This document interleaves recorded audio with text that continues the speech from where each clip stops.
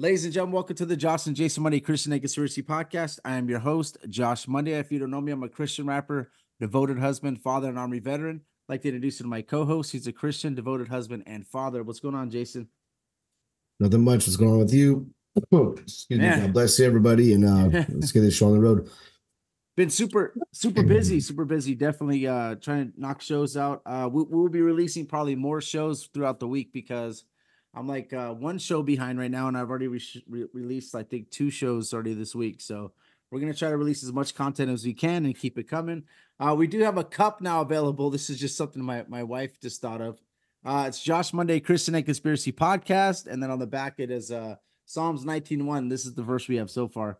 The heavens Oh, declare nice. the glory of God, and the firmament showeth his handiwork. So if you guys are interested, it's $25. All you gotta do is just email me at joshmonday uh, at rockml.com and I'll give you instructions. But we got that. But let me introduce our guest because I'll forget to. What'll happen is I'll get in the podcast, I'll forget about this. I already had two shows already. I haven't even brought this thing up. My wife said, tell him about the cup. No, I don't tell him. I'm too busy with the podcast. Anyways, uh, let me introduce Rich to you guys. So Rich, uh, he was actually on before. Uh, this is probably like maybe three or four shows ago. Came on and just crushed it and uh, did an amazing job. Um, and uh, Rich Tidwell, how you doing, brother? I- I'm doing great. Thanks for having me back on. I have a real mic this time. Last time it was just the headset because I was traveling, and this time I'm in my studio. So I'm glad to be back. I'm actually excited about that cup. I want to have that cup so that anytime I'm on the show, I can be sipping it, you know, Yeah, perfect. and repping the show. Thank you, brother. Thank you. And uh his show, uh, it is uh he is right. And Yeah, he is greater podcast. We we've been going for a few years, uh, but this is the first year that I'm throwing it up on Spotify, and I'm planning to have Josh over on my show shortly. We just scheduled it, so excited to have you over and talk about biblical cosmology over there as well. Yes, perfect. And I can't wait for that. Uh if you guys could please check out and then you, can you shout out your YouTube as well for them? Yep, I'm at youtube.com slash Rich Tidwell. In fact, you can go to richtidwell.com and that pulls up my Linktree and that's got all the links to everything. Perfect.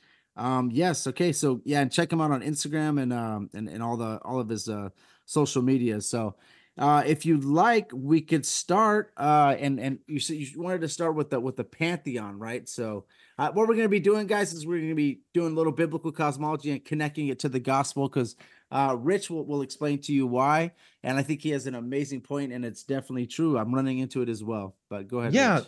So I I think it's thrilling how so many people are waking up to biblical cosmology. And something I appreciate about this show and about you both, Josh and Jason, is that you are very biblical in your presentation of the the flat Earth model, um, and it's truly you know uh, the source of all truth. What we find is whether you discovered that the earth was flat through the bible or whether you discovered it through amateur science or what have you you know before the youtube videos were heavily censored as they tend to be now um, you know you you got to recognize that at the root and core of all of it is that there is a design to the realm that we're living in and therefore there is a designer and i believe that's the ultimate reason for God revealing cosmology to any one of us is so that we will know the one who created the cosmology or the realm that we're inside of. And I really enjoyed our conversation last time and I think something that ha- I've been noticing is there are there are a few camps of people among the flat earth community. There are people who are like flat earth is the topic and they really don't discuss anything else. And then there is the group that um, is discussing flat earth but they are also tying it into how God exists. And I actually would fall into that camp that there is flat earth is a means to an end, and that end is meeting the one who created the realm that we're in. Because what this realm teaches us, what, what our earth teaches us, is that the creator designed us with purpose and we matter to him and that he loves us. I mean, the, the fact that fruit tastes so good is not just a matter of survival. That's because God actually wants us to have good experiences in life. I was thinking about this. I, I'm I'm a husband and father. I have uh, six children, one in the oven, so seven shortly. And Praise I was God. thinking about the joys of having a wife, um, of having children, uh, not just merely for for you know procreative sense, but for the sake of having companionship, having friends, raising them up, you know, in the ways of the Lord. And so there is greater depth to all of this than simply the fact that oh NASA lies, right? Yeah, they lie. I mean, it's it's biblical that that Hebrew word nashah or NASA you know um, it, it, says that the serpent beguiled me in genesis 3 and that word translated from hebrew is nashah or nasa n-a-s-a and yeah they're lying and there are people serving the serpent. But if there's a serpent who is lying then that means there is a creator who is telling the truth. Yeah. and that's who i want to know. And i want to help introduce people to him through cosmology and through also the gospel that that the same God who created the firmament created us and then because of our sins sent his son Jesus to give his life on the cross for our sins. And so I've I've been running into more people. There are people who are hearing about cosmology and they were atheists and they're coming to Christ. And then there are people who are hearing about cosmology and they're really just focusing on NASA and that the government lies. And I believe that the Lord wants to help all of us to know him not ultimately that there's a liar and a serpent. We actually want to stop giving him so much of our attention and really not not ignore him entirely but really focus in on the fact that Jesus is a real historical person of history that the word of God has been verified time and time again as being accurate through archaeology through the fact that there is a firmament and Genesis 1 tells us that there is through the fact that Jesus is a real historical person and that the rumor was that he resurrected from the dead. And of course, the scriptures confirm that he did, and the Holy Spirit confirms that he did as well. And so I think it's really important, and I'm, I'm grateful to be on the show to be able to discuss this topic because we want to know what our real creation is. And we believe that we're on the circle of the earth, that it is flat, that it has ridges and valleys and you know mountains, but that it's covered by a firmament, that there's waters above that firmament, and that heaven is even above that. Yes. And then, Amen. since that's true, shouldn't we spend time to know the God who made it? Right? Because uh, uh, Jeremiah uh, 29 11 says, For I know the plans I have for you, declares the Lord plans to prosper you and not to harm you, plans to give you hope in a future. This, this is the heart of our Father, that we've been deceived by the serpent, and he has never given up on reaching out to us. Now, he won't force us into a relationship. He's a gentleman we consent to this relationship. But he never stops. He's very persistent in his efforts to reach us with his love and with his word. And so I think that would be an awesome discussion today. And I'm thankful to be on the show together with you, gentlemen. And this is Pastor no. Rich Tidwell. I need to give him the uh I think I said Rich Tidwell. Sometimes I say that because uh, you know, me and Rich like have kind of become friends, but this is yeah, we're brothers. Rich Tidwell. so hey, I'm listen, I, I like to go by Brother Rich Tidwell as well. so go, I have, I have so. no problem. Titles are not important to me, but thank yeah, you. Yeah, I just want to say that. So all right, so I just want to let you guys know too, like everybody that's listening. Okay, guys. So yeah, this is very important because God or uh, Paul says in, in uh First uh, Colossians uh, one fifteen. Uh, we need to understand this. You know, who is the creator? Who who did who was it created through? Right? So, um, you know, in, in John 1 1, it says that, you know, the word was with God, the word was with God. We have that, but we also have First Colossians 15, where it says that speaking of Jesus, says he is the image of the invisible God, the firstborn over all creation. Firstborn is actually like a a uh, like a kingship, right? It's not like a, he was born. Okay, uh, he was born into uh, you know by Mary, but he wasn't he wasn't created like that. He's not a created being, right? Jesus. Uh, it says, "For by him all things were created that are in heaven, that are on earth, visible, Amen. invisible, whether thrones, dominions, or principalities or powers. All things were created through him and for him." Okay, he is before all things in him the head of the body, uh, or says, He is before all things in him, all things consist, and he is the head of the body, of the church, who is the beginning, the firstborn from the dead, that in all things he may have the preeminence. So, what's Amen. happening is people are believing in a creator. They're not saying Yahweh, they're not saying Jesus. What they're saying is a creator. So, right now, they're basically they're they're right there on that on that that tipping point to believing in God all the way, but they're not going to claim Yahweh because they don't want to claim claim the Bible. Uh, they say the Bible is true, but so is all the other cosmologies, right? So basically, what they're doing is they're not trying to give credit to the Bible or trying to give credit to Yahweh or give credit to to Jesus yeah. because they're not fully committed. you might as well just go all the way if you're going to think there's a creator because i would ask them what is the name of your god and and they would just be Yeah. like creator. He's just a creator. I know that someone created this but they don't have a relationship with him. And they could tell me universe or they could tell me some new age whatever they want to say but you know just go all the way. But me and rich and jason are just here to introduce you to you know we'll, talk about biblical cosmology but he's gonna i think he's gonna be able to wrap this up and tie this to to uh to jesus and to the gospel and to what, what you guys should be understanding and i hope that we were able to do that in a polite kind and a in a, in a great way but go ahead rich Yeah.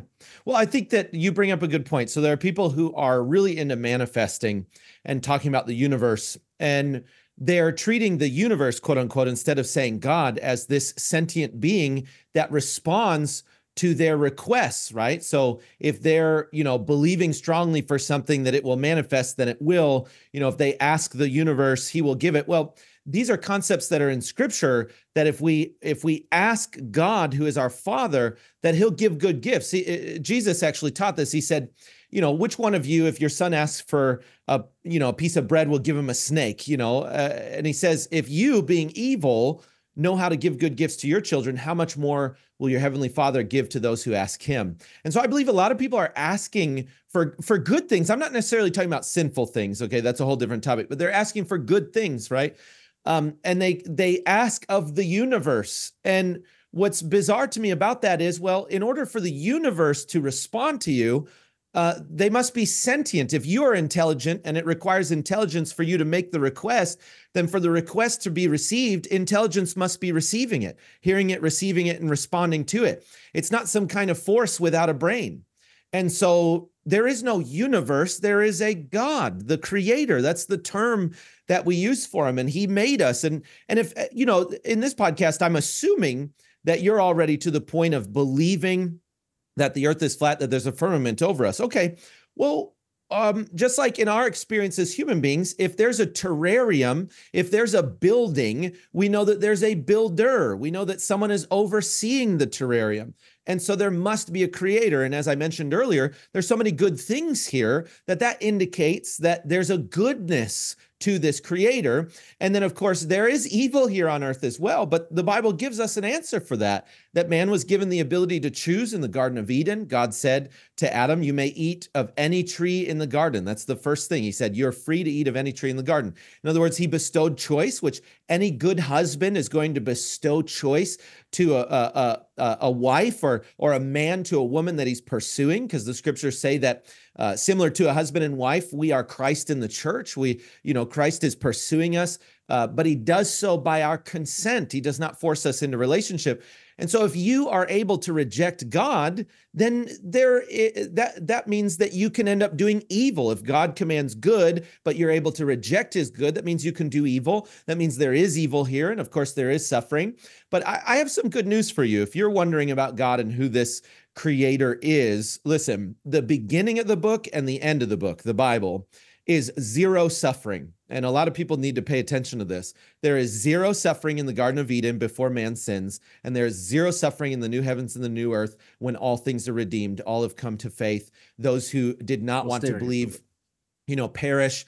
Um, and and and they perish of their own choice, by the way, which is its own topic. But they that that God's beginning and ending in the book is no suffering. So God's will and intent for man is no suffering. So the fact that there's suffering here does not ad- automatically have to mean that, oh, God's not nice to us. He certainly is. It's actually a natural consequence of free choice. There are going to be bad choices and therefore bad outcomes. And that's the dynamic here is that that's how this works. We can't go to God and say, why did you make me thus? So this this is very important to understand that God loves us, that he created this realm, that there's more to this than simply the fact that you discovered that NASA is lying and that there's a firmament over your head. It means that there's a creator of all these things. And I, Josh, I think you you know you bring up a good point. I think we need to consider, okay, that if there is a God, um, he can reveal himself. He's not going to be mysterious. He can reveal himself to us. He can write a book and keep it accurate. Well, one of the most amazing things to me about the Bible, if I didn't already have faith, is that uh, if you've ever played the game telephone, you know that by the time you get to the fifth person in line, whatever was said at the beginning is totally different. And yet, with the Bible, when they found the Dead Sea Scrolls in the Qumran caves, every book they found of the Old Testament was still accurate to the translations we have today.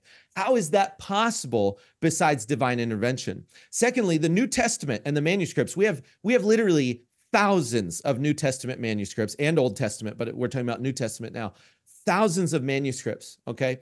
And for other historical figures, let's say Alexander the Great or what have you, sometimes we just have a little clay tablet with one little name on it, and that's all we've got. Or we've got a maximum of like two manuscripts, and we'll believe that this person definitely existed and everything in our history books about them is true. And yet, when it comes to Jesus Christ, there's a bias regarding him because we have plenty of historical evidence. And that should be indicative of the mm. fact that the same deceiver that deceived you about the earth is deceiving you about Jesus Christ. Let me ask you this question.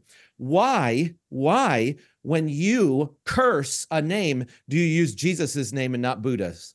Yeah. Why do you use Jesus's name and not Muhammad's? Why do you use only Christ's name and not anyone else's when you swear? Yeah. It's because there is no law against saying, oh, when I stub my toe, if I go, oh, Prophet Muhammad, there's no law against that in God's law. I haven't done any disservice to God or his son or the Holy Spirit. And yet there is a law which Satan knows, just like Satan deceived us on the earth, he deceives us on God and his law. And there is a law that says, do not take the Lord's name in vain. And so, what name gets taken in vain all across the earth? Hmm. All across the earth, Jesus' name. Why? Because his name is the name above every name. He is the Lord. And so we've got to stop and think, just like we did about cosmology, we've got to stop and think about who this God is. Okay, so uh, Psalm 19:1. We, uh, I'd love to discuss this for a moment with you guys because we'll we'll bring up the firmament and and and what the scriptures say. Psalm 19:1 says, "The heavens declare the glory of God; the skies proclaim the work of His hands." Okay, the heavens declare the glory of God; the skies proclaim the work of His hands. Now, that's how the NIV reads it. If you're in the yeah. King James, how does it say it? The heavens uh-huh. declare the glory of God, and the firmament showeth his handiwork. So, this is one of the first things you got to recognize. The original manuscripts are true, but you've got to look at the Hebrew and the Greek because sometimes, because of bias, people will mistranslate and they'll make it skies instead of firmament. But Psalm 19:1 is firmament. Firmament means a solid dome structure. The word in Hebrew is rakia. It's a solid, firm structure. You can go to your concordance. You can look up Genesis 1, uh, Psalm 19 1, Ezekiel 1, all these places where the firmament is very prominent. And you will see that it is firm and it is solid and it is designed and it is engineered by a creator. And here's how we know there's a creator. So that that uh, Parthenon, if you can pull that up, Josh, yeah, that, no problem. There's a structure in Rome that has a dome on it. And this particular structure um, is called the Pantheon, sorry, Pantheon uh, in Rome.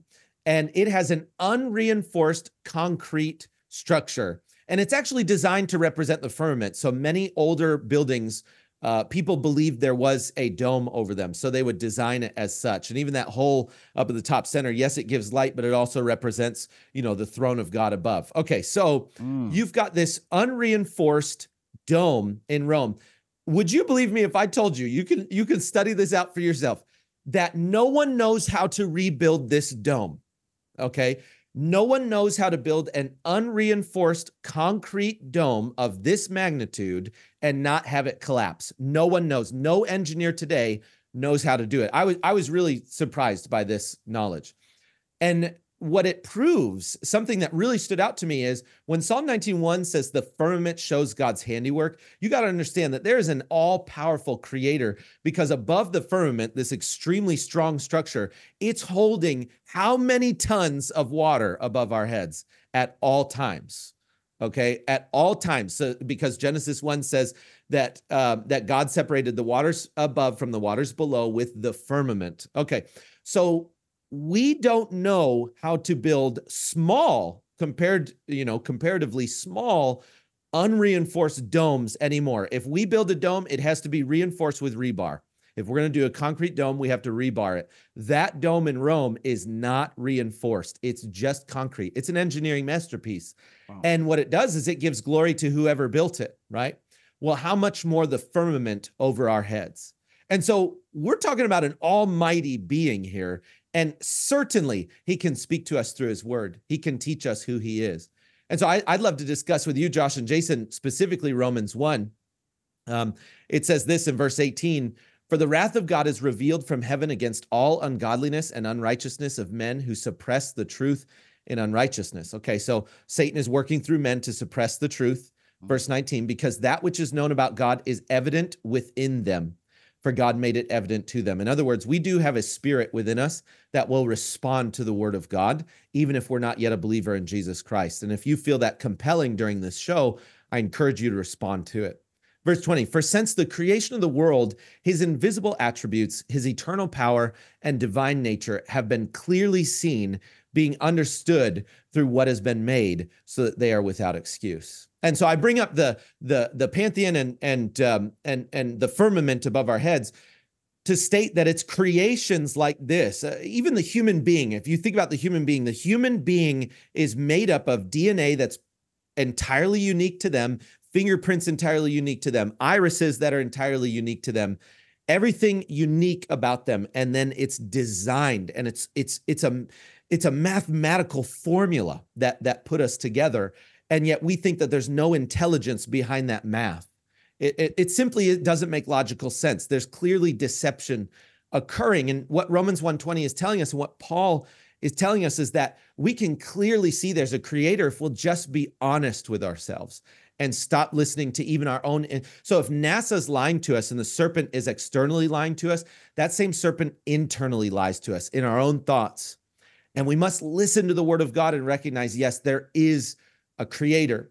And if there's a creator, then it's it, it, now we're on the path of knowing who he is. I mean, Hebrews 11, 6 says that without faith, it's impossible to Amen. please God because everyone must believe that he exists and that he rewards those who diligently seek him. So since he exists, let's diligently seek him. Let's find about out about the son that that is prophesied in Genesis 3 uh, all throughout the scriptures. Let's find out about his son that was always going to be sent to die on the cross for our sins and resurrect. Let's diligently seek him because when we do, he says in Jeremiah, which we read from earlier, you will seek me and find me when you seek me with all of your heart. And so I think that today's show, let's seek him. Let's find out who this God is. Amen. Yes.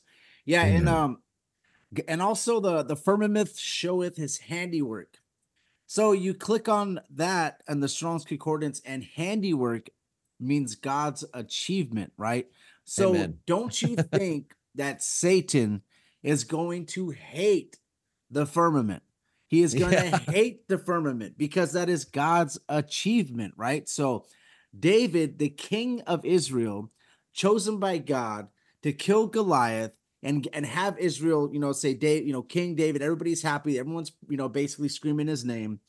Says in Psalms 19:1 that the heavens now there's three heavens. We'll let you guys know that.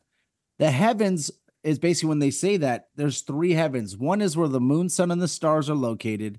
The other one is the firmament. It says it in Genesis 1 8. And the third heaven is where God's throne is. You can look up Second Colossians 12, and it's talking about Paul says, I once knew a man, uh, whether in the body, out of the body, I cannot tell. He's talking about going to the third heaven, right? And he actually, instead of saying that he dodged planets and, and went trillions upon trillions upon trillions of miles away, all he says is that I heard unspeakable words that I cannot utter. Understand that. So if Paul went through trillions upon trillions of miles, I think Paul would probably write maybe two or three more books about it. But anyway, so listen, guys, when it says the heavens declare the glory of God, the heavens that he's talking about, one of the heavens is where the moon, sun, and the stars are located. The other heaven is where God's throne is located. And then it says, and the firmament showeth his handiwork, God's achievement. Okay. it yeah. is something that uh, Rich is talking about. It's it's impossible for man to even build it now. Um, imagine building yeah. one that is as as large as, as the one that God made. But um, Jason, any thoughts, bro? Sorry, man, I don't want to uh, leave you out of the. I'm just we're just kind of crushing. So go ahead. No, I, I was listening, but he was talking about Romans one and or well, just just the first part of Romans and yeah.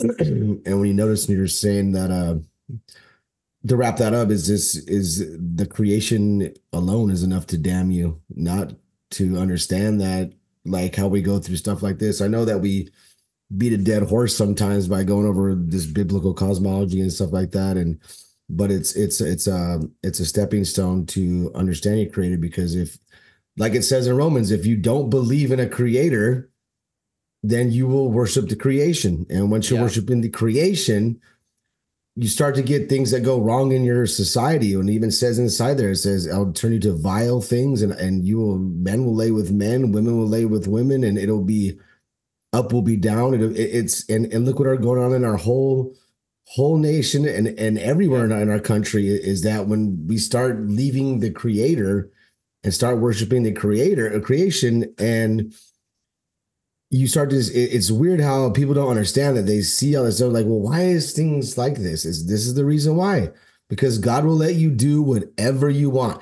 God will let you screw your life up completely until you understand that he is the one that that is all you need is is that. It's Yeah. it's funny how people go through that. We're like oh well i don't know why all these problems are going on in the world. Well just read the bible and they'll tell you there's there's there's actions for reactions there's there's there's there's punishments for crimes there's all this stuff. It's it's people just don't go through life and get to do whatever they want. They're gonna have to answer to something someday. But if you do this here he tells you look if you want to worship a dung beetle you're gonna be crap. If you're gonna worship the uh the d- like basically like just things that destroy or or whatever it's gonna you, you're gonna be who you, you he lets you turn into what you worship basically. And Yeah. when you're showing that pantheon and, and stuff like that it's it's uh it's amazing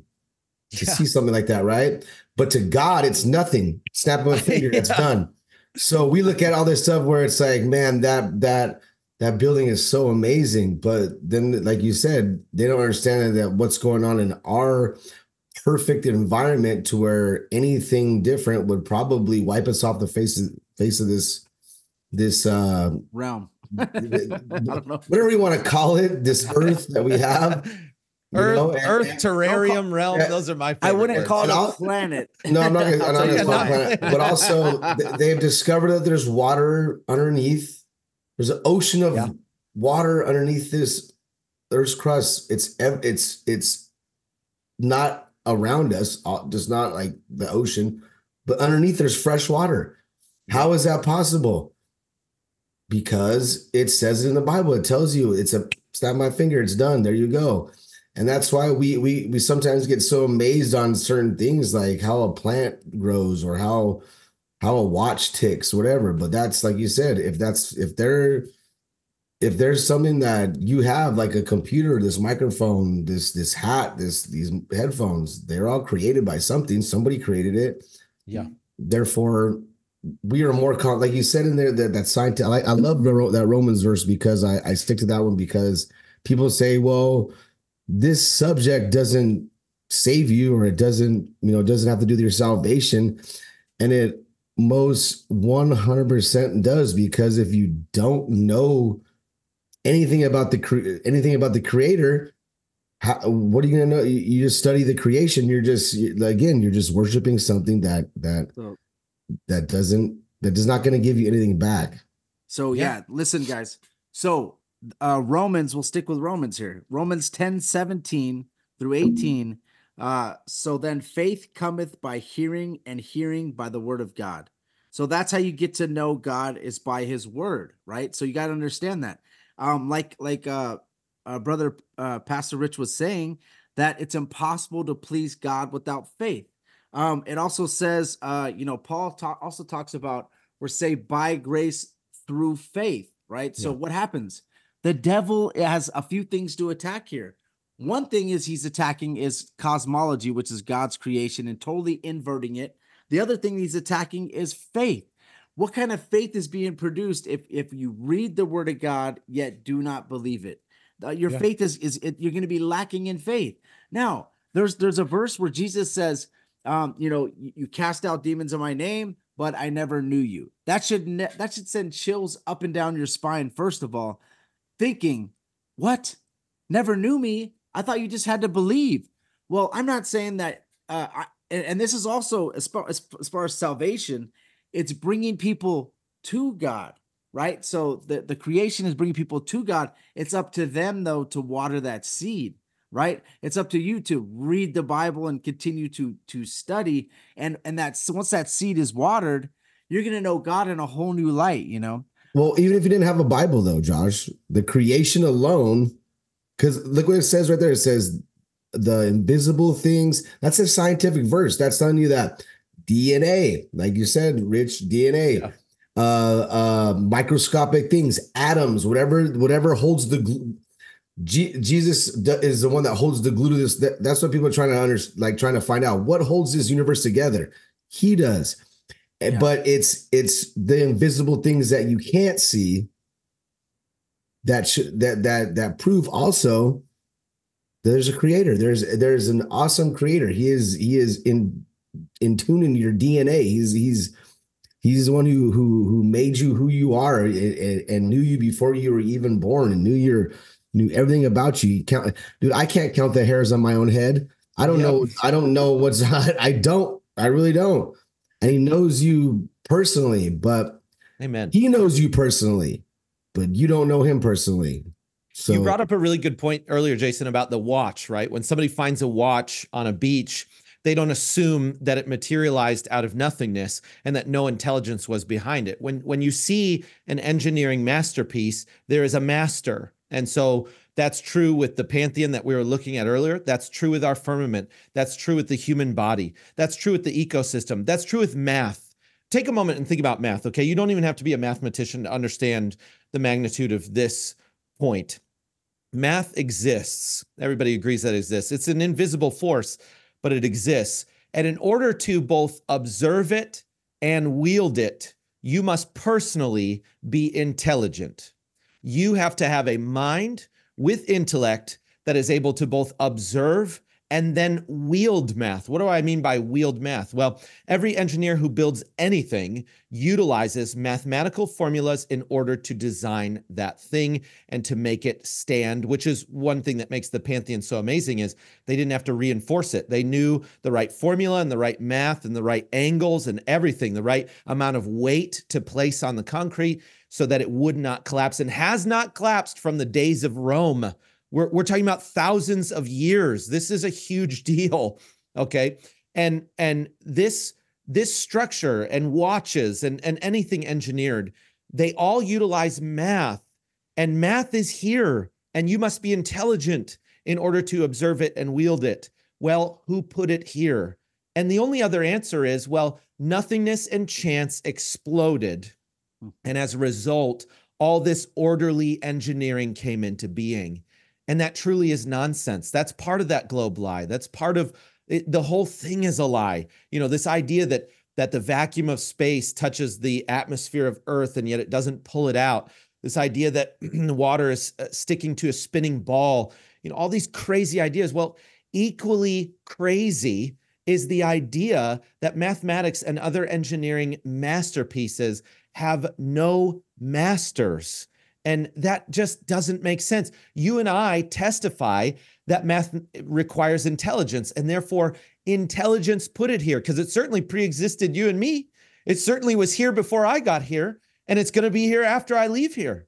And so that that is an example of the unseen realm proving that there is an intelligent, unseen creator. And I want, I want to present this to you. Okay. So let's say you're believing Genesis 1 at least. Even if you don't believe the Bible, you're believing Genesis 1 that there is a solid rakia dome over your head, that you are on a flat disk, which is what Isaiah teaches, but um, and that the earth um, pre-existed the sun, and that the sun and moon are small heavenly bodies close to the earth, hence why we have crepuscular rays coming through the clouds when the sun is shining you know, let's say you believe that it's not a ball, that it's flat like the Bible says, because we don't see eight inches per mile squared occurring anywhere on Earth with any laser, with any zoom lens, with any, um, you know, geological survey. Nothing proves curvature ever except for a fisheye lens.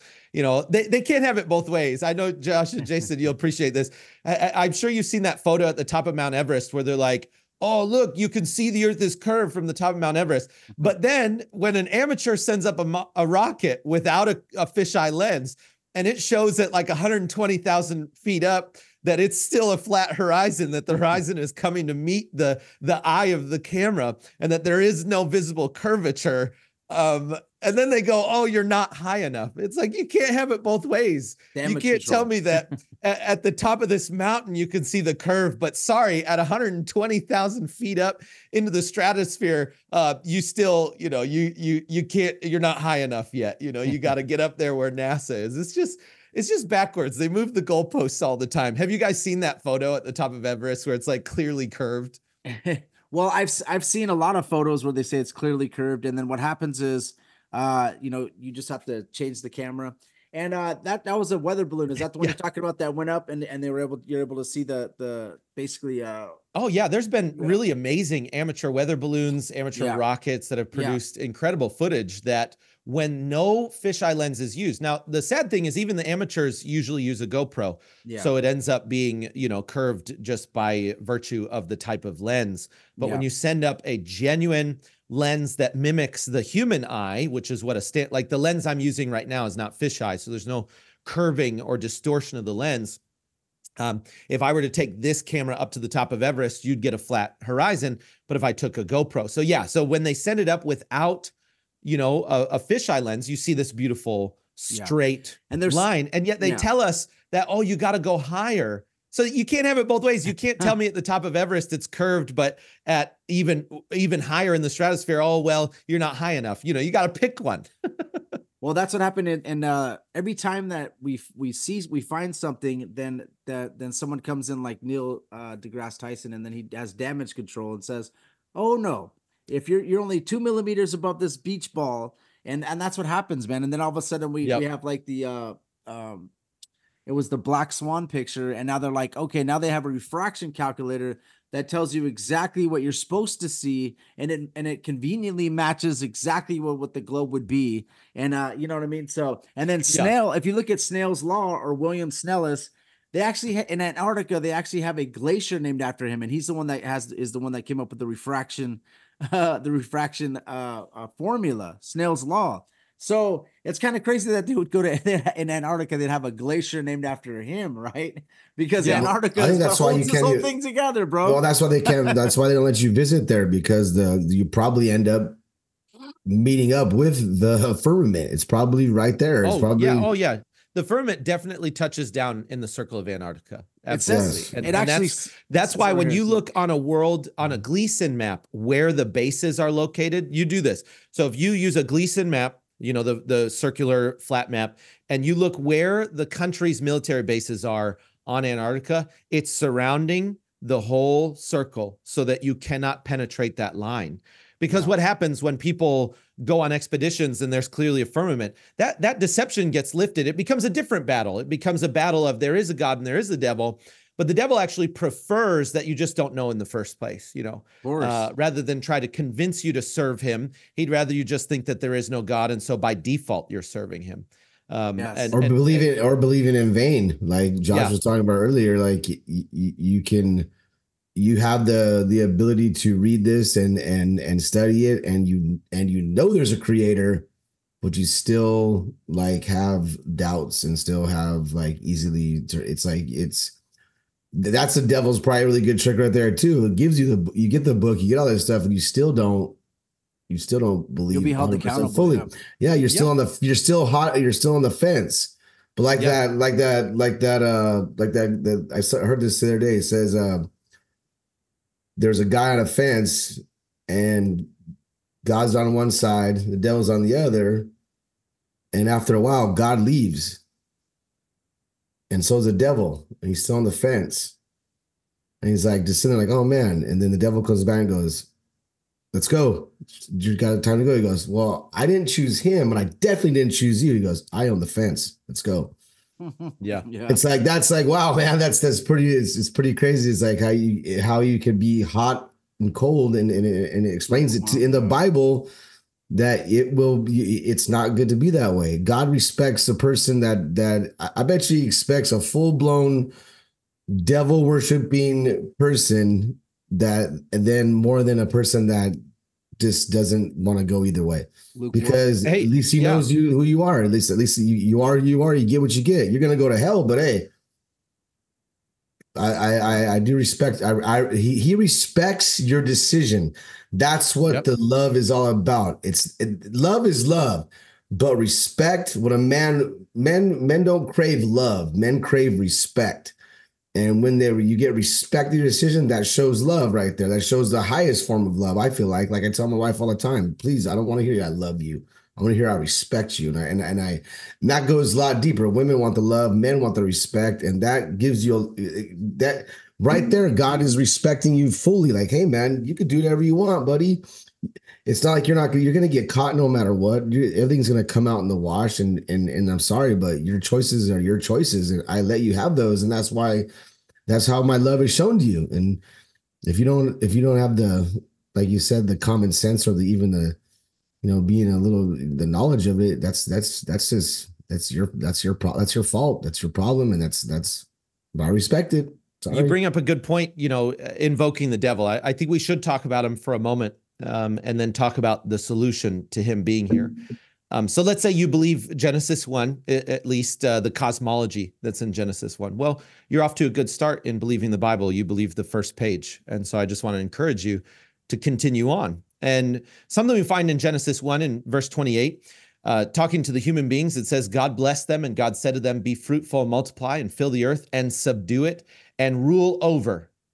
So I just want you to pay attention to the words subdue it, rule over, right? And then it continues on the fish of the sea and over the birds of the sky and over every living thing that moves on the earth. So we'd all agree that God here, Satan's actually not uh, in the picture yet. He's not here until Genesis 3, but in Genesis 128, God is saying to the human beings, you're the rulers of this realm, okay? You rule over every living thing that moves on the earth. You rule here. So this is the sovereign God, all powerful God, bestowing a title and an authority to human beings. Now, this is really important to understand. God's gifts and callings are irrevocable, Romans says. So that means that God bestowed the office of ruling the earth onto human beings. Now, when you hold an office, you can actually give that office up. Okay, so keep that in mind. And then go to Genesis 2, and what you'll find uh, is what I what I quoted earlier, Genesis 2:16, the Lord God commanded the man saying, "From any tree of the garden you may eat freely." So I want to combine these two points because God is speaking all these words to Adam and Eve before Satan shows up. One, you're the ruler here. Two, you're free here. Okay. These are really important concepts to understand. So many, there's actually a lot of Christians that don't understand these doctrinal concepts. They, they're they're sucked into various belief systems that that don't understand how Satan got to be in the position he's in presently and why God would allow it and all of that. Well, we're answering some of those questions. So man is given the rule of the earth. So God literally hands off ruling the earth to man. He's allowed to do that. I I I, don't know why we argue with the word of God sometimes. It's like, no, that's what he said and that's what he did, and he can do what he likes. And then verse 16, from any tree, 216, from any tree of the garden you may eat freely. This is before he gives any commandment. And this shows you the difference between God's will, his law, and then his commands, um, and, and how he willed for mankind to be free and to rule and to have the free choice. And then he gives a commandment that he does not force us to keep. And that's very evident because verse 17 says, But from the tree of the knowledge of good and evil you shall not eat, for in the day that you eat from it, you will surely die. And so you have man is ruling, man is free, and then man is commanded to rule in a certain way. And so God says, Hey, don't eat this tree. That does not mean that they don't have the ability. This is the difference between bestowing a function or an office and then giving the the format or or you know the structure for one to behave while sitting in that office? Well, they go and eat the fruit if you know anything about the Bible. So I'm, I'm now going to Genesis 3. And let's read this together because I think too often people think that these are just children's stories. And this is literally the problem and the fall of man. So Genesis 3, verse 1 Now the serpent was more crafty than any beast of the field which the Lord God had made.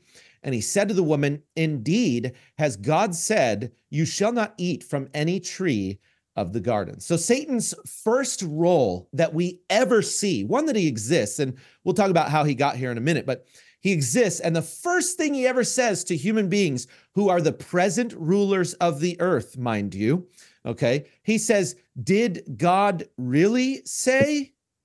Did God really indicate this? In other words, he introduces even the concept, the practice of questioning God. In, in, in, in our fully redeemed state, God is bringing us to a point of we believe every single thing he says, regardless of what our eyes have seen. And keep that in mind because the eyes are really important. We believe regardless of the eyes. We walk by faith, not by sight, as Paul says in Corinthians. Okay, so you shall not eat from any tree of the garden.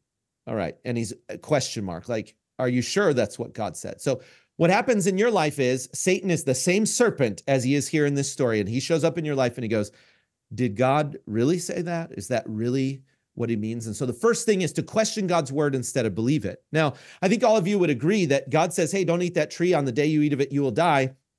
And we then saw death. All of humanity has seen death since then. We would have been better off just believing God's word without having ever seen death. Would you agree? Yep, Yeah. for sure. like, And- like we we would have been better. I Sorry, think go it's a, I think it's a grant. There's a grant deed here that's being transferred as mm. well. Uh, Yeah. So man have the grant deed to the earth at this time. God is is giving that to a grant deed, basically like ownership of the earth. Here Yeah. you go, Adam.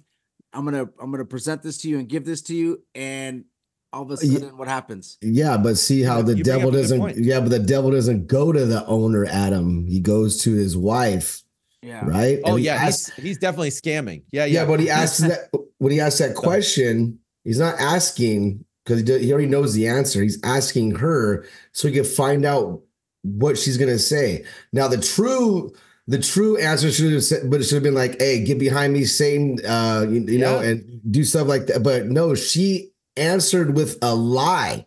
She lied to him first. She said, "He said, if we touch this, even if we touch this tree." we will surely die. And the devil goes, Oh, she wants to touch it now. So she's interested in it. Okay, I got her now. I got her. The man's not around, and I got I already got her really answering my questions. I already got her hooked on. She's done. And she's Yeah. gonna eat from that.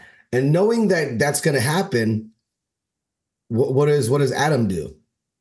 yeah. He I, I I believe he went to the woman to deceive the man. In other words, yes. well, she was walking this- ar- she was walking around like she owned the place. That's what Yeah, she was well, doing. She and was see doing the this man's job and she wasn't shouldn't have been there at all. That's Yeah, already and- and- God's structure right there.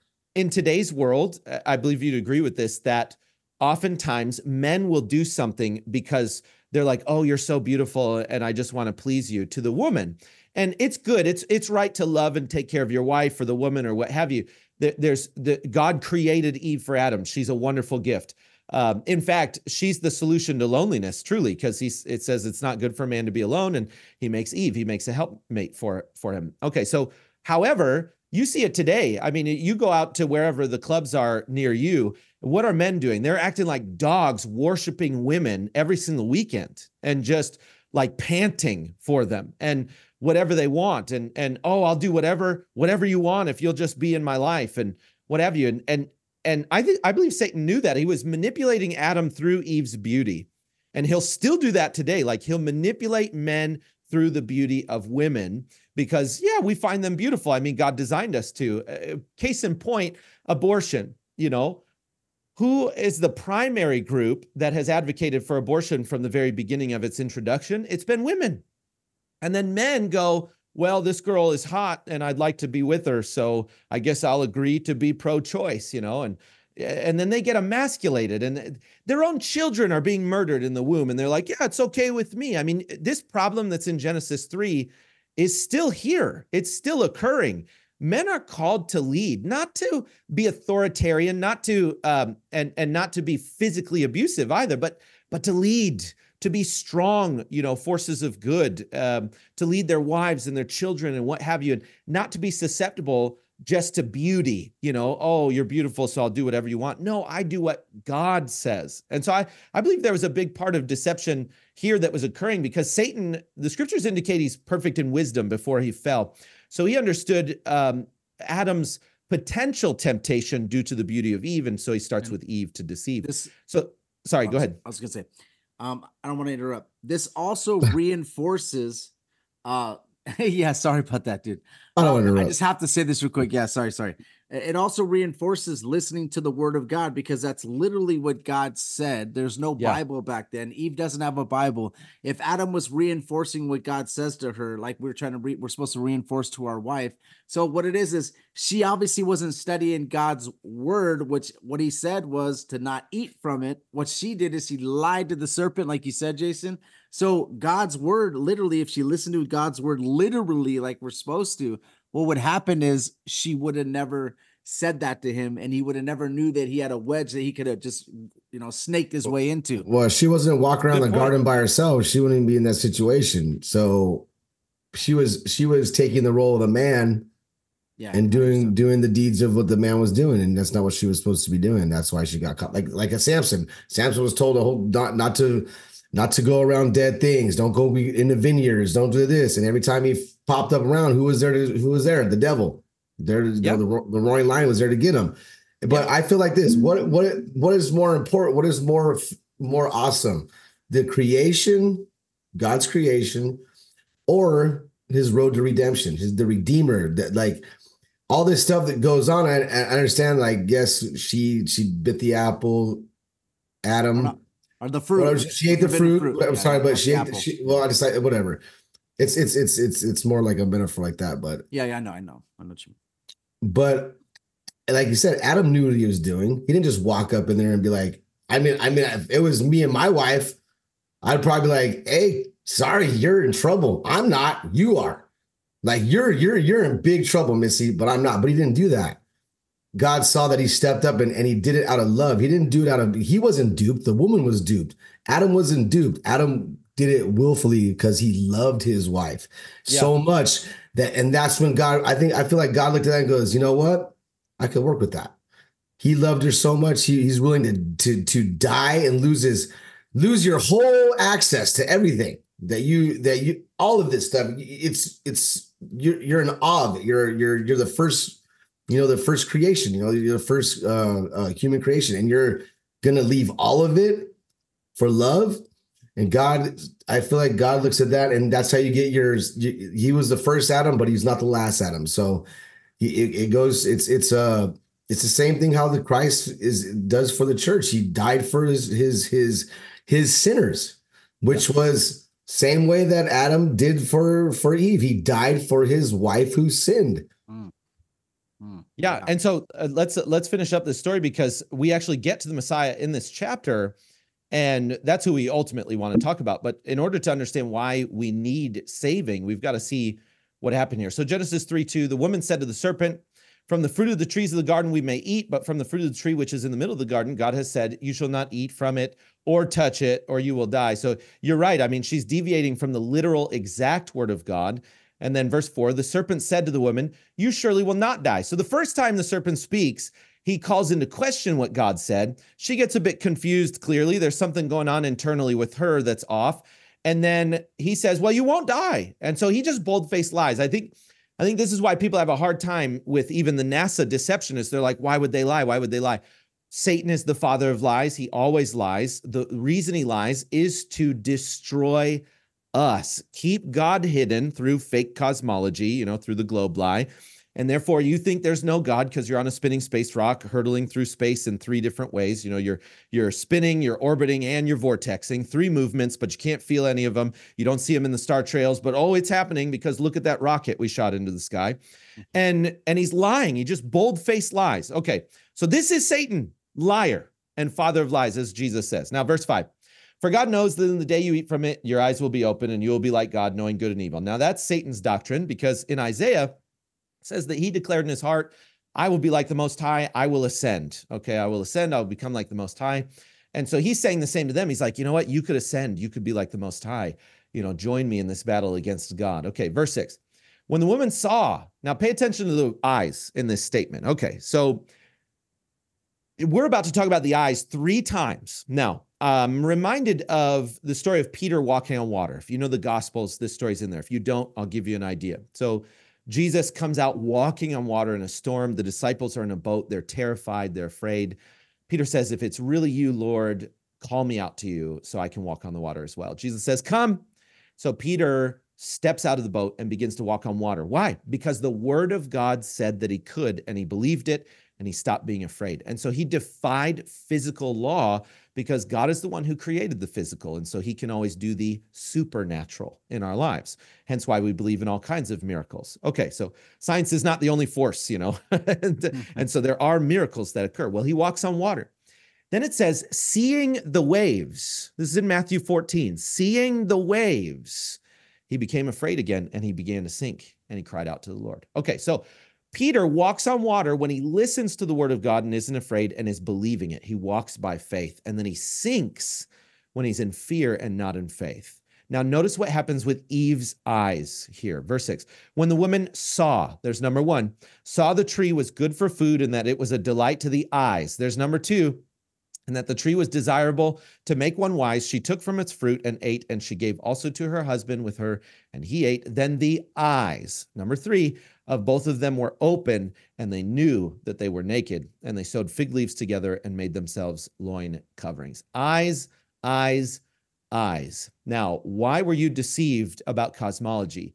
Because your eyes saw on a screen a lie.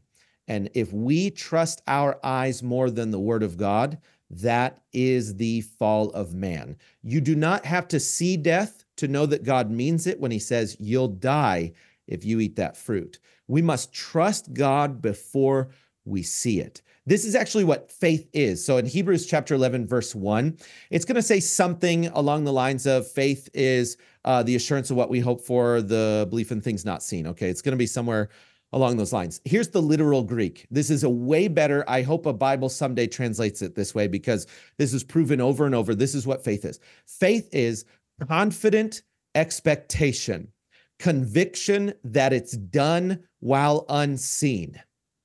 Okay, mm. so faith is confidently expecting that what God says is true and is going to happen and then it's conviction internally of the heart that it is done. The Greek word pragma in Hebrews 11 1 means it is done. We translate it as things. We translate it as things, and it means it is done. So it's conviction that it is done while unseen. In other words, death will happen even though I've never seen it. And so I'm not going to eat. Well, instead, they use their eyes. Well, I haven't seen death, but I see that fruit and it looks tasty. So I'm going to eat it. And so they believe their eyes over the word of God. This is the whole fall of man. Okay, so man falls.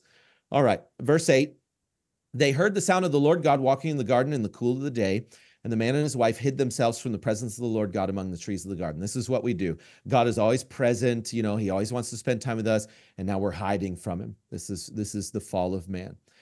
Verse 9 Then the Lord God called to the man and said to him, Where are you? He said, I heard the sound of you in the garden, and I was afraid because I was naked, so I hid myself. Now, eyes and fear. I was afraid because I was naked, so I hid myself. Are you this is this is all throughout scripture. This is true in your life. Shame. When you're in fear, you are not in faith. When you're in fear, that's the opposing force to faith. That's the opposite of faith. When you're using your eyes, you're not believing from the heart. When you're in fear, you're not in faith. This is man's problem. And God's about to give us the solution to this problem.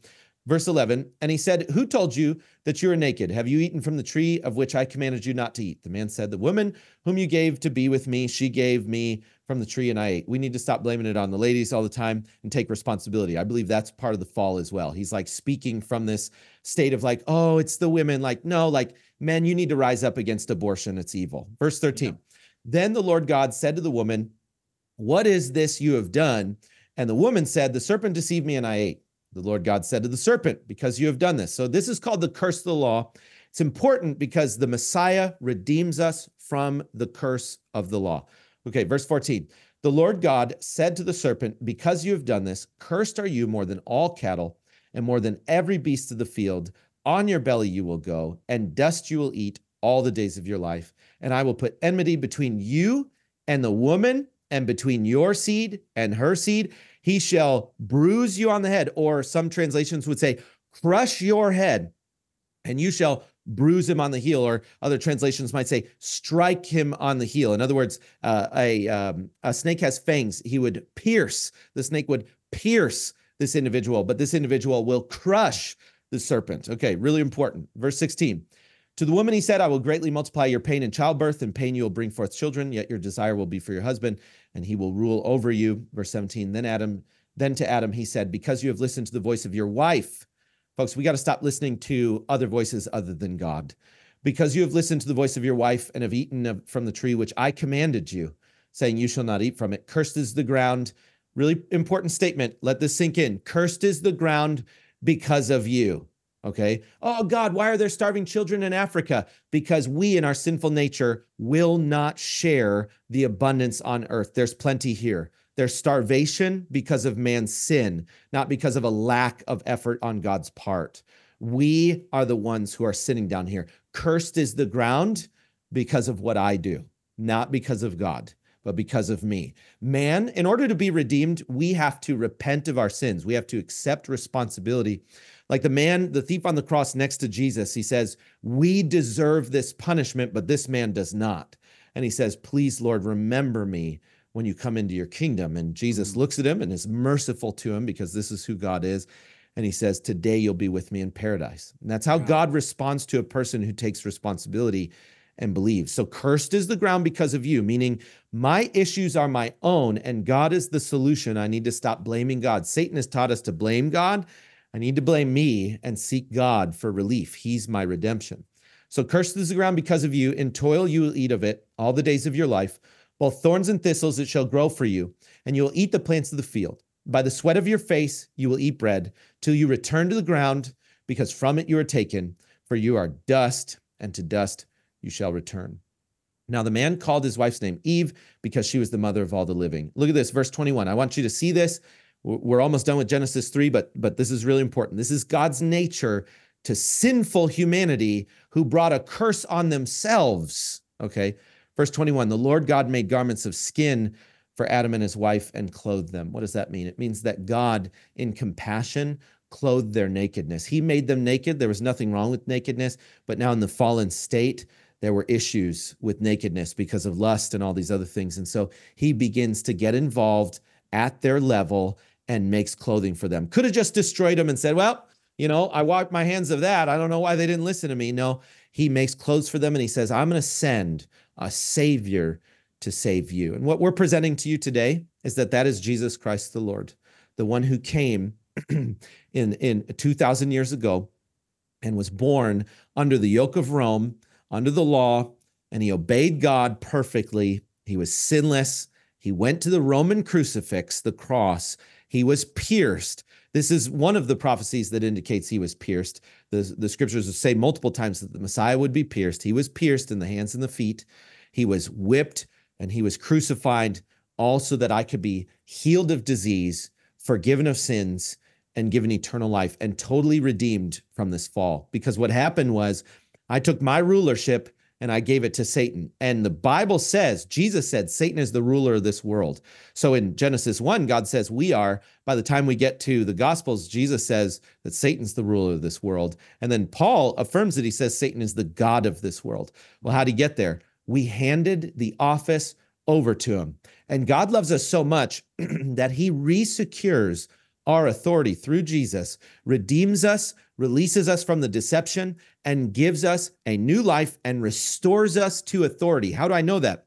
He says this in the Gospels. He says, I saw Satan fall like lightning from heaven, and I have given you authority to trample on serpents and scorpions and over all the works of the enemy, and nothing shall by any means harm you. But do not rejoice that the demons submit to you. Rejoice that your names are written in the Lamb's book of life. And so we are now restored fully through Jesus' work on the cross. If, and this is the big if, we believe wholeheartedly without having seen the word of God regarding what Jesus Christ has done for us. And in a moment, I'd love to read Isaiah 53 as we, I'm sure, start to wrap this up. We can look at the gospel in Isaiah 53. Maybe you've never heard it, but Josh and Jason, I'd love to hear your feedback.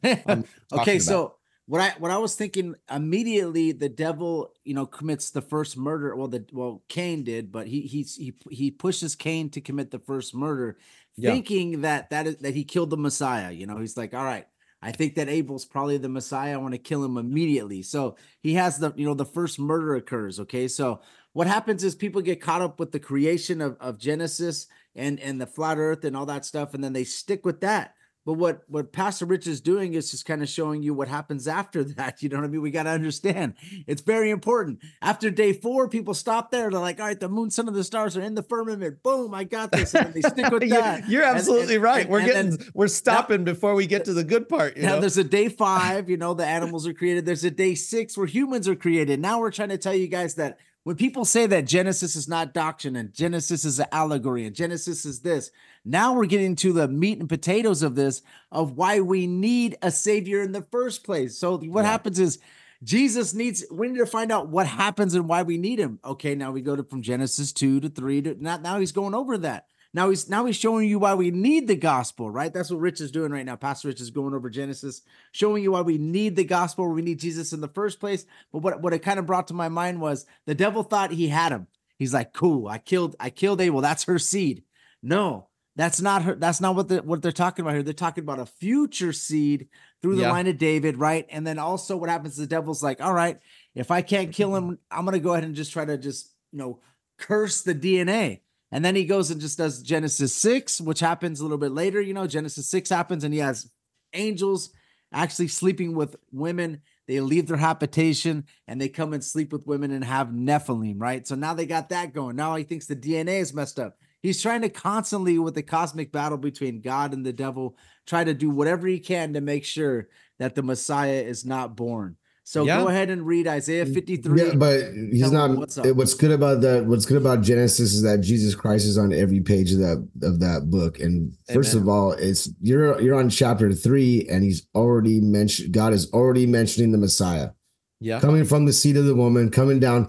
But when when I, I believe Josh, I know you said Cain was was the first murder, but Satan murdered our spirit, murdered man spiritually first. That was the first murder committed right there when he when he got Eve, and when Eve got got Adam, Adam.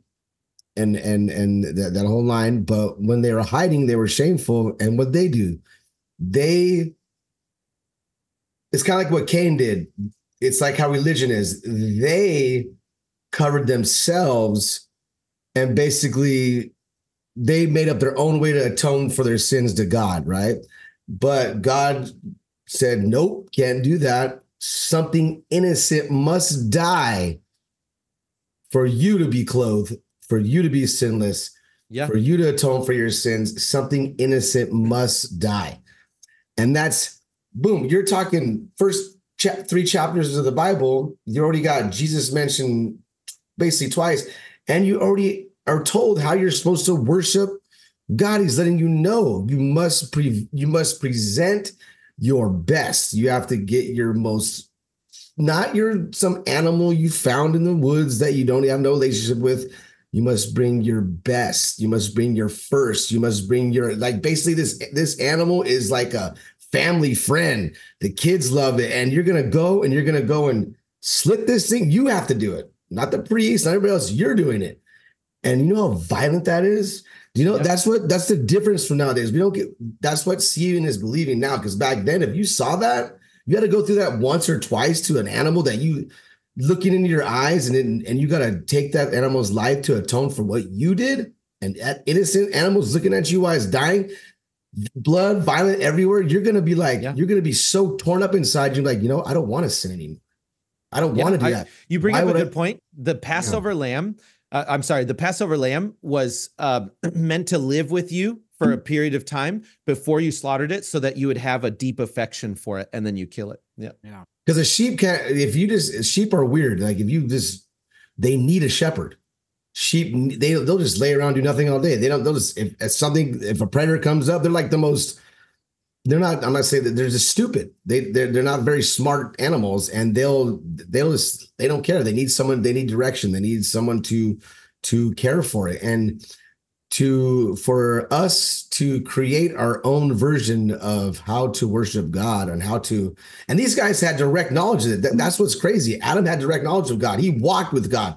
Enoch walked with God. These Nimrod, whatever goes down, Noah, they they spoke with God. They knew he existed. So that you're you know that this this this your creator exists and you still like you still disobey and are disobedient. That's why God's like, well, you you you little mothers know that I exist, and you still want to be like that. Now I'm not, and I'm going to take that away from you.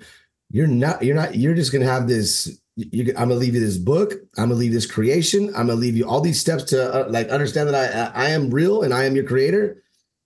But you're not. You're gonna have to go by faith now. You must walk by faith, not by sight. And I'm sorry, but that's how it's gonna go. And that's why it's it, to have true faith and and to be truly obedient and to worship God through obedience and understand that worship is not singing in the church a couple songs and you go home and do whatever you want. It's being obedient as as you possibly can. And that's that's that's a true form of worship. And yeah. if you don't do that then you got nothing. Sorry. You don't got discipline. You don't got that. You got nothing.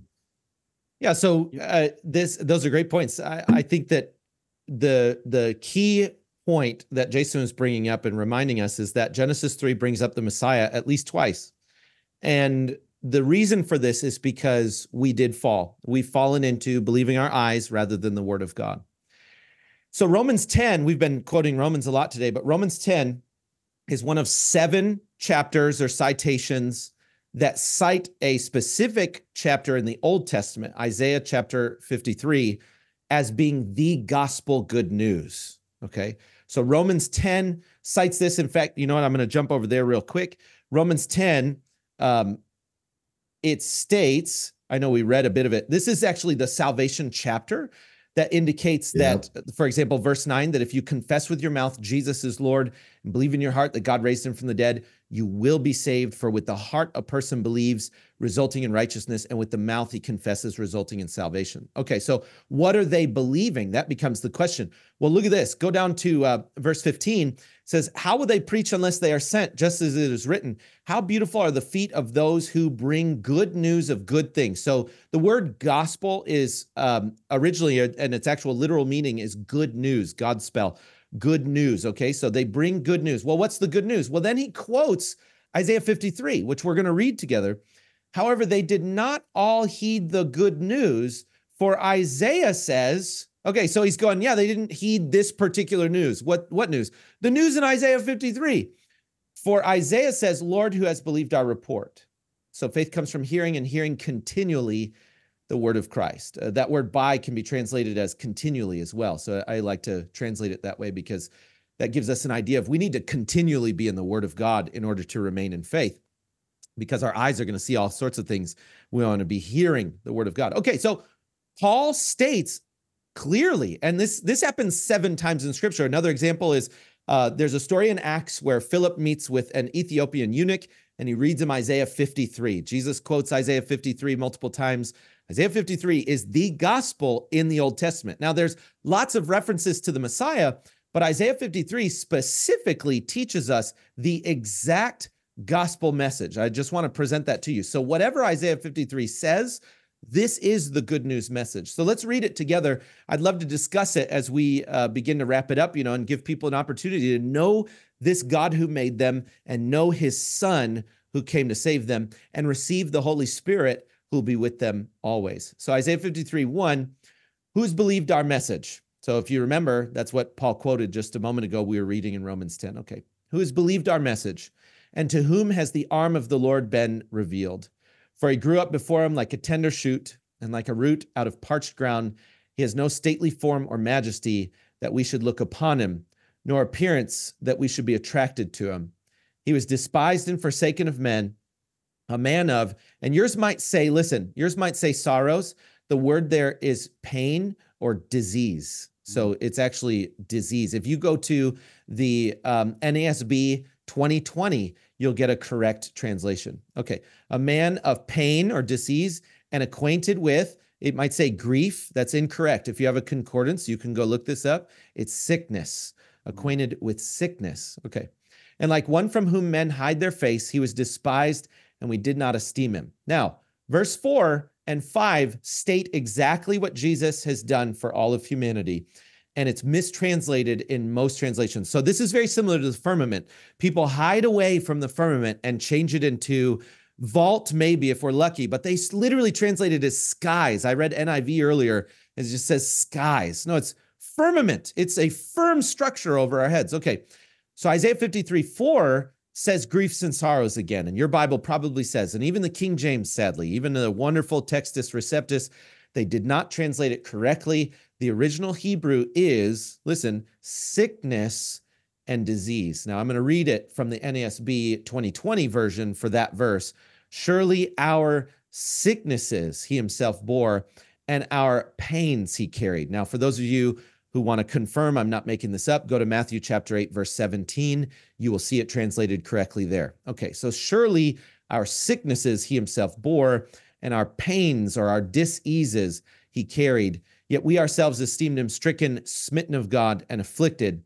But he was pierced through for our transgressions. This is one of those instances where the piercing that is promised in Genesis 3 happens to the Messiah here. But he was pierced through for our transgressions, he was crushed for our iniquities. The chastening for our well being fell upon him, and by his scourging or by his wounds, we are healed. So in these verses, he has bore sickness, pain, and sin. And we're about to see death as well. In other words, Jesus bears all of the curse of the law. Sickness was not in the garden, and yet it's here now. Why? The curse of the law. Jesus bears it. Sin was not there originally, and yet we sinned. What does he do? He bears our sins. Pain, death was not here. And what does he do? He dies on our behalf. This is really important to understand that he did personally bear sickness, pain, sin, and death, all four on the cross, and by his wounds we are healed. Now, verse six all of us like sheep have gone astray.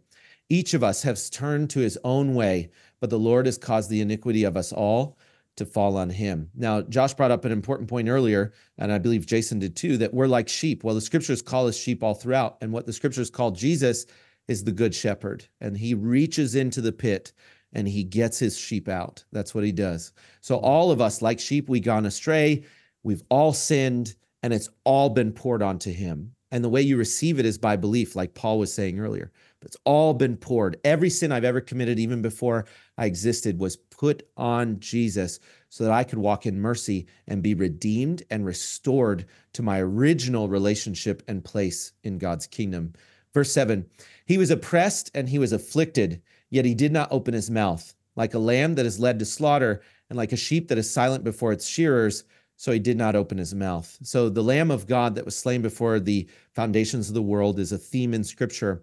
And Jesus is that Passover lamb, that lamb that gets slaughtered. And when you put the blood on your doorpost, God rebukes the destroyer. That's the Exodus story. It's our story, God redeeming us from slavery in Egypt. Now, verse 8 by oppression and judgment he was taken away. And as for his generation, who considered that he was cut off out of the land of the living for the transgression of my people, to whom the stroke was due? In other words, Jesus was killed, but we deserve the death. That this is so important. I don't deserve eternal life. I haven't earned it. And yet I'm going to be gifted it because Christ died in my place and paid the fine. We all have this sin debt and Christ paid the fine. And it was the Father's will and pleasure to do this on our behalf. This is why he didn't destroy Adam and Eve in the garden. He always wanted to clothe us and rescue us and be good to us because he's always been good. Satan is a liar. God is good, nothing less than good. Perfect goodness is what God is towards us. And so Christ dies in our place. And this was actually due us for the transgression of my people to whom the stroke was due. In other words, the thief on the cross, he got it right. I deserve this. This is something we got to realize. Like, I deserve the suffering that's in my life because I've sinned and others sin, and we've created this problem, and Christ is the solution. I'm not going to blame God. I'm I'm the problem, and, and He's the solution. Verse 9 His grave was assigned with wicked men, Yet he was with a rich man in his death because he had done no violence, nor was there any deceit in his mouth. But the Lord was pleased. Okay, so notice God, Jehovah or Yahweh, was pleased to crush Jesus. But the Lord was pleased to crush him, putting him to, and again it says grief, but this can be translated weakness, sickness, pain.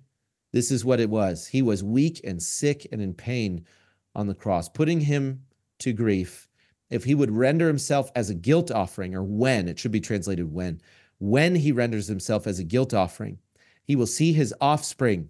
He will prolong his days, and the good pleasure of the Lord will prosper in his hand. So it's prophesied that even though he died a few verses earlier, he's alive. He will see his offspring, he will prolong his days. So it was prophesied that the Messiah would come back, even in this chapter. Verse 11. As a result of the anguish of his soul, he will see it and be satisfied. By his knowledge, the righteous one, my servant, will justify the many, and he will bear their iniquities. Therefore, I will allot him a portion with the great, and he will divide the booty with the strong or the plunder, because he poured out himself to death and was numbered with the transgressors. Yet he himself bore the sin of many and interceded for the transgressors. So Jesus poured his entire life out. He taught us God's word. He bore our sins and our sicknesses and our death and our pains, everything on the cross, and he fully redeems us. And then he resurrects, showing us that he really is the resurrection and the life, and that we have eternal life in him when we believe. And what Paul says in Romans 10 is true for you, for those of you listening, and maybe you've never put your faith in Jesus Christ. If you will confess with your mouth that Jesus is Lord and believe with the heart that God raised him from the dead, you will be saved. Every single person who calls on the name of the Lord Jesus or Yeshua HaMashiach in Hebrew will be saved. You can call on him today and receive this forgiveness of sins and new life. And one important part of this is that he restores the authority that you lost. He actually makes you, listen, he makes you the authority on earth again. And Satan hates this reality. Even Christians don't know this.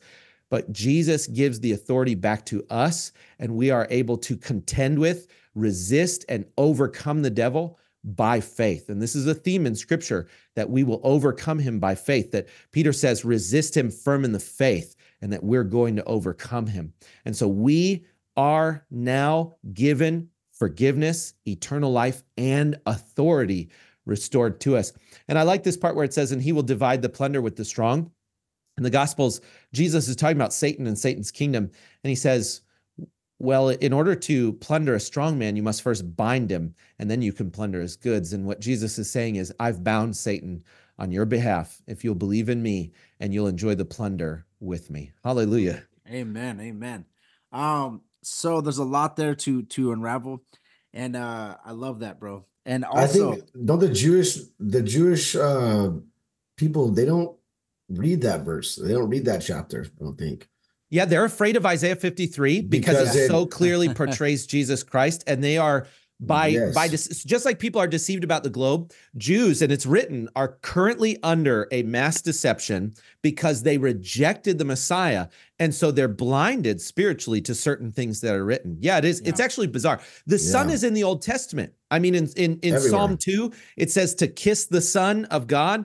Um, in Proverbs 30, it says that uh, there's the creator and his son, and they both created, you know, what's his name and what's his son's name. And so, yeah, he's all over the Old Testament, and the Jews have have literal blinders on. Now we pray for them. I actually believe this, just not to digress too much, but uh, Zechariah says that they will look on the one they have pierced. There's that pierce again. They will look on the one they have pierced, and they will mourn as one mourns for a firstborn son.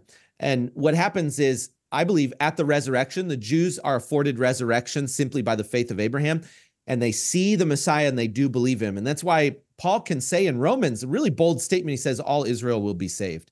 So they're under a present deception that doesn't last. Anyways, Yeah. but that's a bit of a digression. and But that was a good question. I, th- I believe you could replace that with Hebrew Israelites, right? Okay, we can't just say like the state of Israel. here. I I think it's Israel, yes, but also the the, the state um Israelites. So let's listen to this real quick, guys. Uh Abraham, okay. Uh in Genesis, uh, if if you go further, Genesis uh 22, right? Then you got you got Abraham. Uh, then God said, "Take your son, your only son, whom you love, Isaac, and go to the region of Moriah. Sacrifice him as a burnt offering on a mountain, and I will show you." So I don't want to keep reading through all the text because you know for time's sake. But guys, it also shows you right there that Abraham brought his son up to the mountain. He said, and, and his son Isaac is, uh, they say he's like 30 years old at this time. And he says, Where's the sacrifice? He says, God will provide the sacrifice. Through faith, he said, God will provide the sacrifice. God is asking him to sacrifice his son. Now he knows that through Isaac, he's going to have uh, all these descendants, uh, many as, as many of the stars. So he knows that. And through faith, he puts him up there on the altar. He's about to kill Isaac, right? And sacrifice him to God. And he hears a voice that says, Stop. It's the angel of the Lord, capital T, angel of the Lord, right there. And a lot of people believe that's a Christophany of Christ seeing a human being, Abraham, who's been trying to have kids and and Sarah's like 90 years old finally has finally has Isaac his one and only son. Same thing that God does with with Jesus on the cross is is put here right here in Genesis 22 so Genesis also has all the stuff that we talked about and also has this story of Abraham doing the same thing. And I believe Christ is right there. I think the angel of the Lord is Jesus coming to look and see a human being doing exactly what he's about to do on the cross for humanity. And I do believe that that is kind of like a wow. Isaac, I mean, a- Abraham was going to do this through t- through faith, and that is basically like a concrete of of maybe Jesus feeling like, hey, you know what? Uh, man, there's still man still has it. You know what I mean? No, so, look, look, the scriptures say the righteous shall live by faith, and so Uh, Abraham is that Habakkuk too. example of Yeah. righteousness by faith. Sorry, go ahead, Jason. Sorry. Well, no, it's just like you said. It's it's God is showing you even in the Old Testament. It doesn't matter about like your offerings and stuff like that. It's it's basically by, faith. Your Yeah. your sacrifice, like Abel's Abel.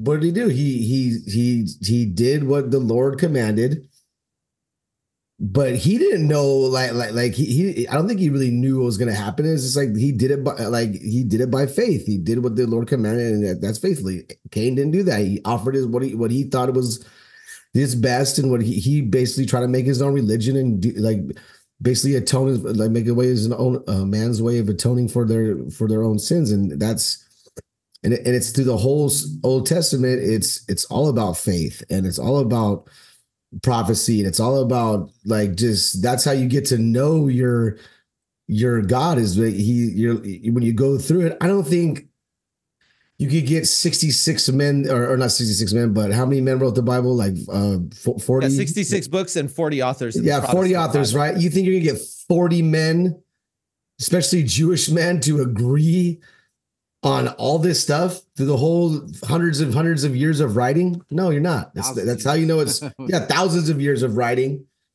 That's how you know that this is spiritually um God uh how do you Inspired. say inspired. Yeah. It- and it's inspired and and only I mean you could tear pages out of the Bible, go through it, the message ain't gonna get lost. It was made for that reason because that's why you get the, some people's like interpretations and all that stuff. Yes, the the interpretations and and and uh, the changing of the languages and how they how they how they actually meant, but the the message never changes. And that's it's like a it's like how you uh like in the military you you send out a message, but you you know you you jam it up so that other people can't you know can't decipher it. This is what it does. In the bible it foresees all these religions and all these things that are going to be out there and, and this is how you battle them and if you don't you god doesn't tell you to put on your armor you know uh, of of uh, put on the armor of god. He, he doesn't tell you because it's something that's cool you get a helmet. Is no he's telling you this because this is the stuff you need to go to battle in. That's why he used Yeah. a basically a roman centurion's outfit to show you that you're going to war every day. Not every other day not once a month. When you wake up you every go to sleep, decision, bro. every decision that you day. make, every Yes. decision that you make is a spiritual battle, God versus Yes. the devil, and it's a tug of war for your. And and honestly, There's no God versus the devil, bro. There is no. No, well- let's not get that twisted. We gotta stop saying I that. There is okay. no versus each other, bro. okay, The so devil's defeated. He's already defeated. He knows it. Everybody, not everybody knows it, but true believers when We'll Jesus say died, good versus evil. died on no good versus evil. either. We already triumphed over that. And once you believe that, that's his. That's like that's another part, form of his deception. Yeah. He he goes and offer. He, he tells he talks to Eve in the garden. But what does he do when he talks to Jesus? He does the same thing. He twists the words of the Bible. But what is the perfect answer for that? It was always It is written. yes. It is written every I- all three yeah. times. Yeah. Jesus responds, it is, and no, you're absolutely right. You bring up the armor of God in Ephesians 6, and the sword is the word of God. So you've got to get to know the word of God, and then you have a shield of faith to even block the enemy. You need to know what the word says, believe it, and then you need to strike back with it is written. And that's how we Yeah. do spiritual war every day. And you're also right that Satan is not actually allowed to rule in our life anymore unless we're believing his word, which is a foolish thing to do. And so we're given victory over him in every area so long as we we're resist. the word of God. Right. You have to resist. Resist his faith, temptation, he will flee. He's, yeah, and then will he's flee. not allowed Yeah. to to continue on. You bring up another good point. Okay, so folks listening, thank you for being with us this long and listening to this message. I, I pray that the Lord is moving in your heart and that you're hearing the gospel. And I want to give you a call to action. Okay. So you were deceived by your eyes. That's what Satan used for Eve. It's what he used for you. It's what he still uses. He uses the globe lie with eyes. And he, he uses the eyes. He lies through the eyes. Okay. Our redemption is our returning to believing the word of God. Literally, Jesus is the word of God made flesh so that we could see him, yes, but the ultimate goal was so that we would believe what he said. And even now, we must believe that he gave his life on the cross and resurrected. Well, your eyes have never seen that. And so you are going to need to believe what you haven't seen. But this is literally the redemption plan. We fell because we used our eyes instead of believing the word of God, and we will remain in that state until we believe. In fact, Jesus says this in John chapter 8, verse 24. He says, Therefore I said to you that you will die in your sins, for unless you believe that I am he, you will die in your sins. So they were saying to him, Who are you? Jesus said to them, What have I been saying to you from the beginning? Now there's this theme in scripture when the beginning is brought up, it's referring to the Garden of Eden. It's referring to those first few chapters in Genesis. In the beginning, God created the heavens and the earth. And so, what have I been saying to you from the beginning? That I am He, that I'm the creator, that I'm the ruler, that I'm the Messiah, that I that I came to save you and clothe you with righteousness. I've been telling you the same thing from the beginning. And the reason why you'll die in your sins is not because there's some kind of lack of evidence. You know, there's actually plenty of evidence, but you won't be able to see it. You you you'll still discredit Mount Sinai in Arabia. You'll still discredit the Rock of Horeb in Arabia. You'll still discredit miraculous healings. You'll say, "Oh, they were in on it," or "Oh, it must have been some medicine," or you'll still discredit things. You know, Jesus said, "If if you're in unbelief, you could see someone rise from the dead and you still won't believe. You must believe what you're hearing from the heart." Before your eyes even see it. Jesus said this before he raised Lazarus. He said, If you believe, then you'll see the glory of God. And so in this world, it's see it and then I'll believe it. And you'll you'll die in your sins. If that's if you want to hold to that, you'll die in your sins. But if you'll believe, then God will make you see. And Amen. Jesus said, if you believe that I'm he, you you won't die in your sins. You will be given eternal life. And that's ultimately, I believe, our goal today on this podcast. All three of us, as men of God, reaching out to you to share with you the gospel of Jesus that yes, there's a firmament over your head. Yes, we have fallen into sin. And yes, there is a Redeemer, Jesus Christ our Lord. And when you believe in him, see, the heart can believe what the mind can't conceive. When you believe in him from the heart, even though your eyes haven't seen it, boy, he'll change your whole life. You'll be forgiven. You'll be given a new life. You'll be made, the Bible says, a new creature. And then you'll be able to celebrate because no matter what happens in this life, you're heading to eternal life with Jesus. And if you will fix your eyes on him and on his word, the psalmist says that your word is a lamp unto my path and a light unto my feet. And so it's really important to remember that God's word is light for us in this dark world, and we'll be able to see so long as we keep our eyes fixed on him and on his word. Amen. Amen. Amen to that. Thank you so much. And uh yeah, and uh also it says all things consist Uh, he is before all things, in him all things consist, and and he is holding all things together. So he is involved in the creation. We got to understand that. So you got to get Yeah. to know that. Okay, so don't leave out that part. Don't don't leave out your salvation by not getting to know Jesus. Don't get to know the creation, the creator, and not know Jesus because you're leaving out that essential part that you need to know for salvation. That's what Pastor Rich is telling you. That's what Jason's telling you. And also, a form of worship is obedience. We got to understand that. So it's very, Highest form. yeah, obedience, right? It's it's all throughout the Old Testament. You know, what's happening is even when the people knew that Moses was on Mount Sinai for 40 days and 40 nights, and they knew he was speaking to God, they knew they can't even walk because it's holy ground and they could die. Do not even come over there. They knew he's up there, they still end up partying and start worshiping the calf. So Yeah. it happens. And you know what? All of us are are are you know, it's hard for all of us. It's not like uh, me, Jason, and Pastor Rich are walking uh in the light at all times and we're not sinning. Like we're trying to do our best and we're all trying to do our best and we're just trying to uh introduce you guys to the full gospel message and the full creation and everything that you need to understand. So thank you, Pastor Rich. Jason, any last words real quick before we uh before we roll out? Uh, yeah, just as uh, Rich was hammering away, the devil gets your eyes, God gets your ears. Jesus gets your ears. That's why he says in Revelations, you know, the first the first books, the first chapters of Revelations, he who hath the ear, let him hear. So, like he says, see, seeing is believing. Yeah, that's that's true. I, if I see it, I believe it. But yeah, you ever watch magic shows and stuff like that? Seeing is there. There are deception ways, that, with just by visually looking at stuff. So yeah, you gotta listen. Listen to listen to listen to your heart. Listen to the listen to your heart when it after you find Jesus first. Like don't listen to your heart before that because your heart is evil no matter what. But keep your um keep your eyes and discipline your eyes for that you're it's it, a lot of stuff comes through that lust uh uh covet covetousness all that stuff it's it's it's it's it sucks. And and any little thing could happen to you. You could be in a you know bathroom stall and you can see a playboy on the ground anything. And it, it bam there you go. And it sets you on a, a road of just destruction right after. It's it's very crazy how just by seeing something it it it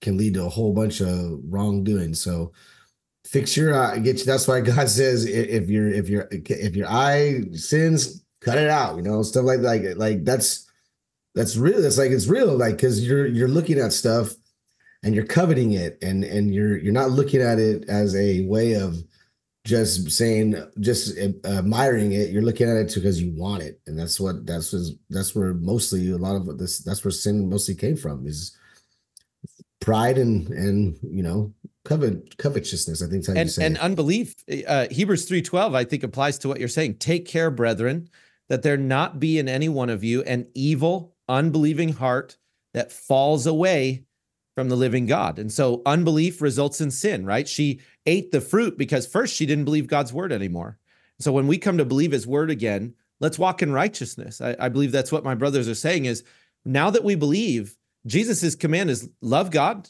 with all your heart and your soul and your strength and love your neighbor as yourself. And you'd be surprised that literally solves the problem. If we'll walk in love with one another, we defeat the kingdom of the enemy here on earth because his kingdom is selfishness and you know unbelief and all that. When yeah. we walk in love and we believe what God's word says, Paul says in Romans 1 5 that he received grace and apostleship to call all the Gentiles to the obedience that comes from faith. Well, when we truly believe from the heart, let's obey him because his laws are good. It would have been good to not eat that fruit. So let's learn from that mistake and begin to obey him and love him and love our neighbors. Amen. I'm so grateful to be on the show again with you guys. yeah. Thank you so much. it was nice Dude, meeting you we we appreciate awesome. having you on for sure. Okay, so let me end this with this: love is patient, love is kind. It does not envy. It does not boast. It is not proud. It is not. It does not dishonor others. It is not self-seeking. It is not easily angered. It is. It keeps no record of wrongs. Love does not delight in evil, but rejoices with the truth. It is always protects. It always trusts. Always hopes and always perseveres. Love never fails. But there are prophecies that will never cease, and there were tongues, and they will be stilled. There is knowledge, it will pass away.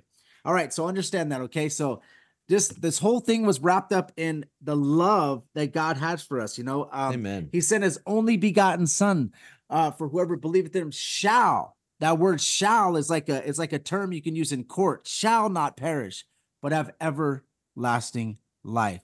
Guys, this is so important. The message was so beautiful, and thank you so much, Pastor Rich. We appreciate you.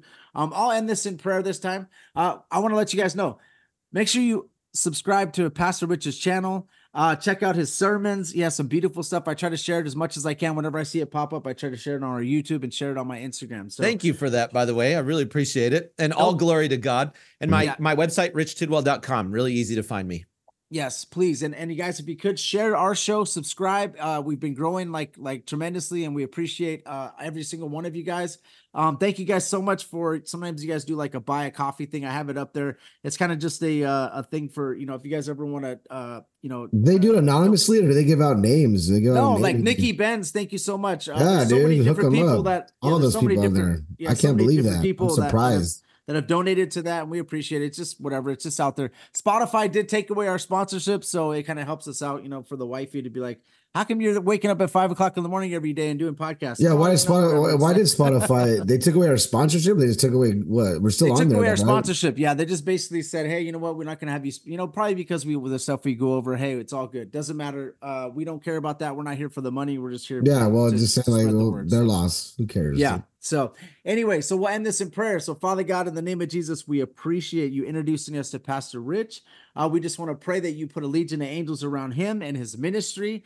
Uh, I know that people are waking up to the the creation. We know that Satan has inverted everything that that's it says in Genesis. We just want to say, Lord, anybody that's listening to this message, if you could please supernaturally have them um, give them the ears to hear the message. All we're doing Yes. is just trying to reveal your son Jesus Christ through uh the word right? We're trying to we're trying to um we're trying to reveal that jesus was with you during the creation and we are trying to reveal that um that you know the firmament showeth your handiwork lord. That is your your Yes, achievement. It's something that we know the devil will attack.